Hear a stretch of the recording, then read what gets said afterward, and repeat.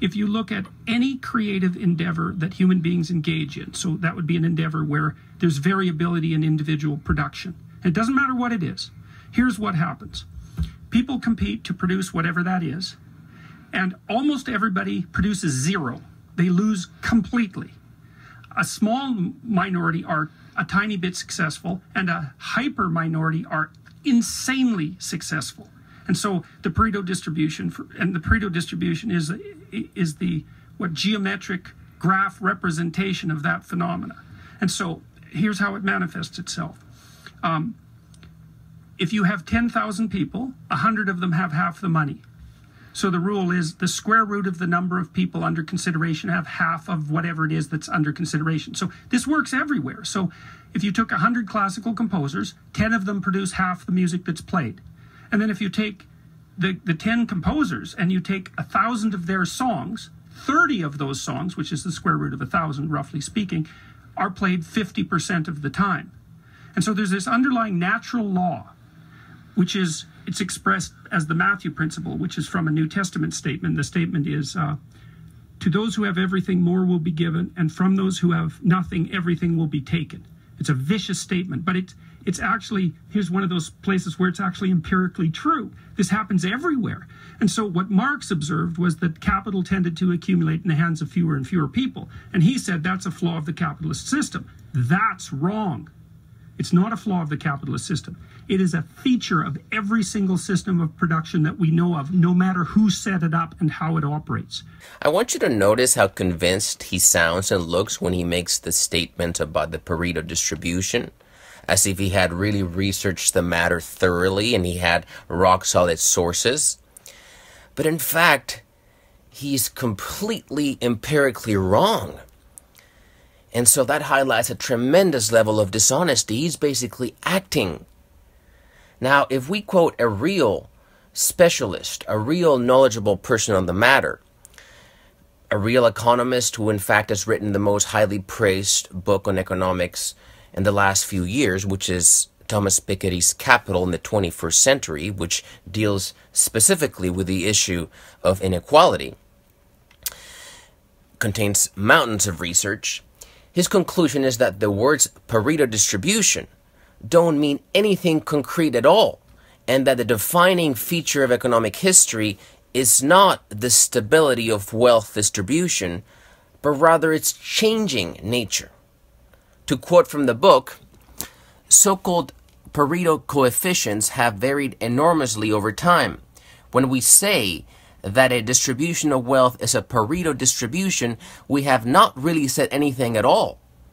It may be a distribution in which the upper decile receives only slightly more than 20% of total income, as in Scandinavia in 1970 to 1980, or one in which the upper decile receives 50%, as in the United States in 2000 to 2010, or one in which the upper decile owns more than 90% of total wealth, as in France and Britain in 1900 to 1910.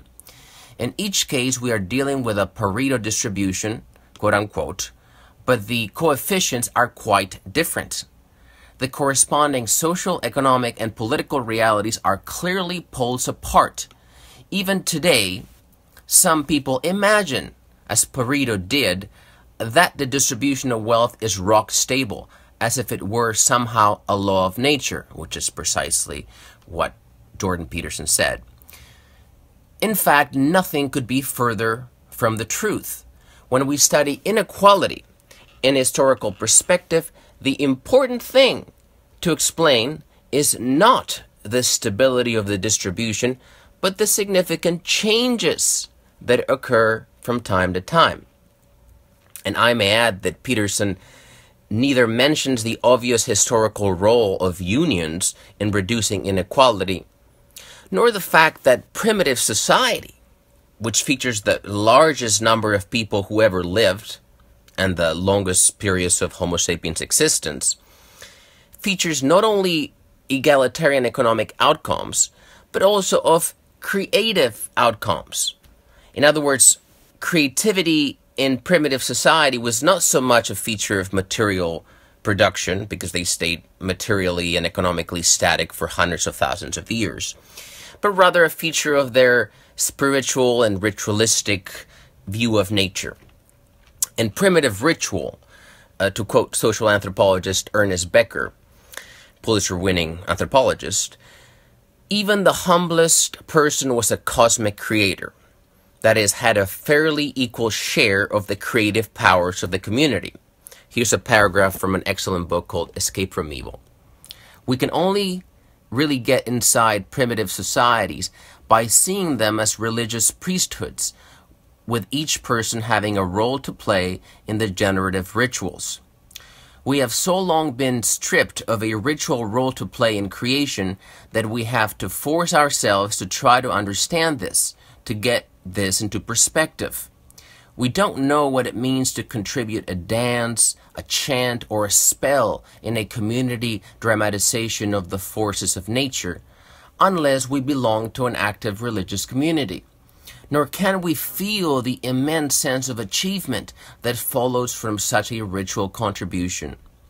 The ritualist has done nothing less than enable life to continue. He has contributed to sustaining and renewing the universe. If rituals generate and redistribute life power, then each person is a generator of life. That is how important a person could feel within the ritualist view of nature by occupying a ritual place in a community. Even the humblest person was a cosmic creator.